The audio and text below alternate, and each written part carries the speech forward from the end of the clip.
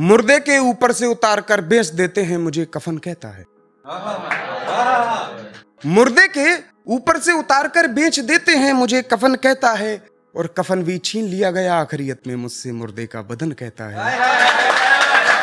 कफन भी छीन लिया गया आखिरियत में मुझसे, और ये मुर्दे का बदन कहता है। और शेर सुनिएगा, लोगों के दिए दर्द को चुपचाप सहता रहा हमेशा। एक बार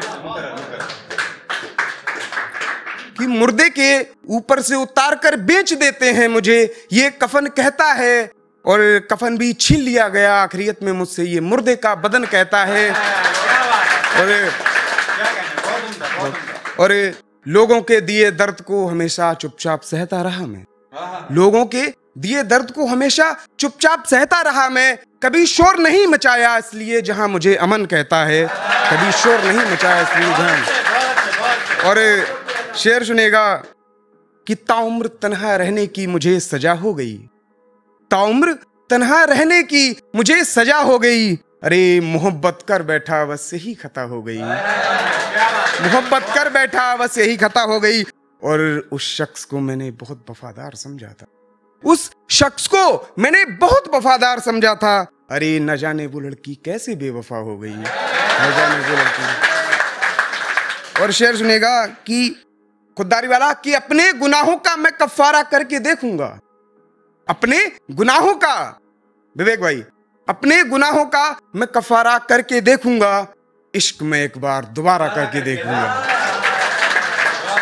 अपने गुनाहों का मैं कफारा करके देखूँगा। इश्क में एक बार दोबारा करके देखूँगा और इस बार शायद मोहब्बत में वफा मिल जाए मुझको।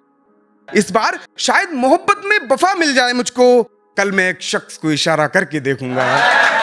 कल मैं एक शख्स को इशारा और मेरा एक शेर, एक गज़ल छोटी सी, कि न कभी मेरे हक में फरियाद करने वाले, न कभी मेरे हक में फरियाद करने वाले जा खुश रहे मुझे बर्बाद करने वाले। न कभी मेरे हक में फरियाद करने वाले, अरे जा खुश रहे मुझे बर्बाद करने वाले, और अच्छा ही है जो तू मुझे याद नहीं करता। अच्छा ही है जो तू मुझे याद नहीं करता। अरे, बड़े रोते हैं मुझे याद करने वाले। बड़े रोते हैं। और शेर सुनिएगा कि, जनाब, हकीकत ज़िंदगी है जो बता रहा हूँ मैं। बेग भाई, कि जनाब, हकीकत ज़िंदगी है जो बता रहा हूँ मैं। अरे, बर्बाद हो गए दूसरों को आबाद करने वाले। बर्बाद हो गए दूसरों को। और आखिरी शेर कि ये वक्त है, करबट बदलता ज़रूर है अमन। ये वक्त है, करवट बदलता ज़रूर है अमन बड़े बेचैन रहते हैं दूसरों को नाशाद करने वाले। बड़े बेचैन रहते हैं दूसरों को नाशाद करने वाले। और एक छोटा सा शेर, कि जो मुझे उस शख्स से निजात मिली है, जो मुझे उस शख्स से निजात मिली है, एक मुद्दत बाद सुकून भरी रात मिली है। जो मुझे उस शख्स से निजात मिली है, एक मुद्दत बाद सुकून भरी रात मिली है और बेवफा, बेशरम मतलब परस्त कहते थे लोग तुझे।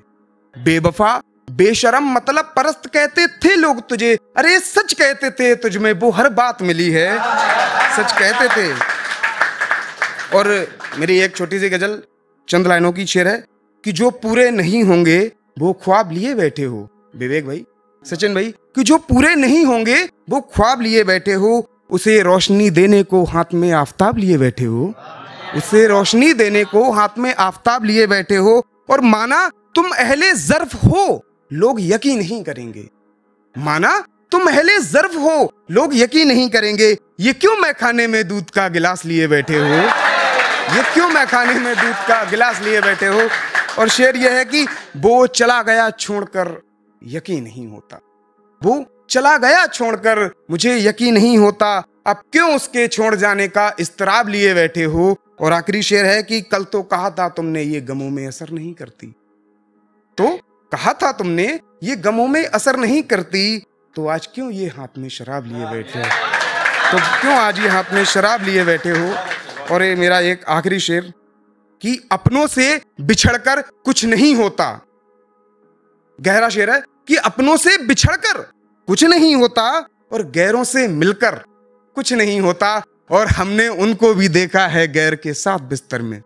हमने उनको भी देखा है गैर के साथ बिस्तर में। अरे, जो कहते थे आबरू से बढ़कर कुछ नहीं होता, जो कहते थे आबरू से बढ़कर कुछ नहीं होता।